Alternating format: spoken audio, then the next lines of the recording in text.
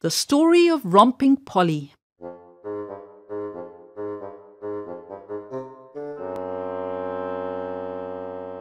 I pray you now, my little child, thus once a kind old lady spoke to her niece in accents mild, do try to be more steady.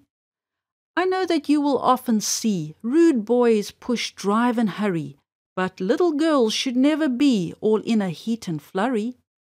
While thus the lady gave advice and lectured little Polly, to see her stand with downcast eyes, you'd think she owned her folly.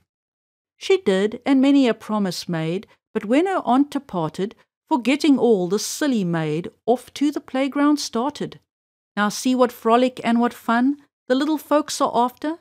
Away they jump, away they run, with many a shout and laughter.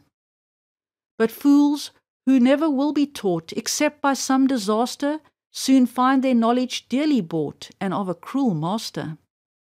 This little girl, who, spite of all, her good old aunt had spoken, would romp about, had such a fall that her poor leg was broken. In sore amaze, those standing by, then placed her on a barrow.